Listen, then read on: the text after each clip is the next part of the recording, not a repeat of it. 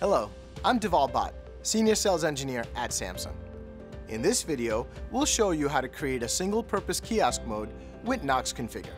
Knox Configure allows you to create device configuration profiles which offer a variety of customization options, including Pro Kiosk and normal modes. To get started, you need to go to samsungknox.com. Click the Sign In button in the upper right corner and enter your credentials. Once you're logged in, you'll be taken to the Knox dashboard page.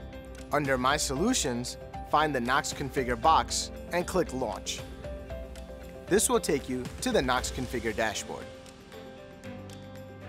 At the top of the page, select Profiles.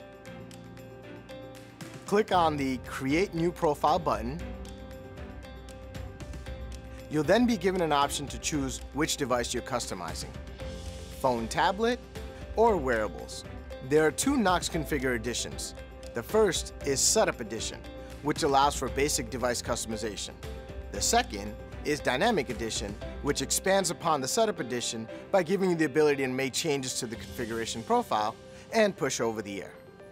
In this example, we will use the Dynamic Edition. Fill out the required fields on the first page. Click Next.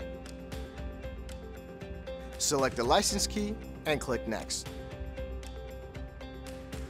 Select the kiosk application on the next screen and click Next. Select a configuration, Normal or Pro Kiosk mode. Normal mode allows the IT admin to customize the interface of the device and add content while leaving the device open. Pro Kiosk mode limits functionality of the device to a single application and group of settings. In this example, we will set up a device in Pro Kiosk mode. Select Pro Kiosk mode and continue to complete the profile settings.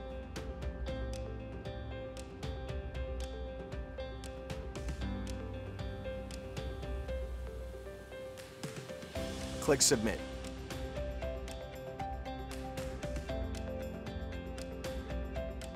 Once the profile is complete, select the device and click Done. This is where the profile will be deployed. And that's how to create a single-purpose kiosk mode with Knox Configure. To learn more about how Samsung Knox can help your business, visit samsung.com slash Knox. For support with or to access your account, visit samsungknox.com.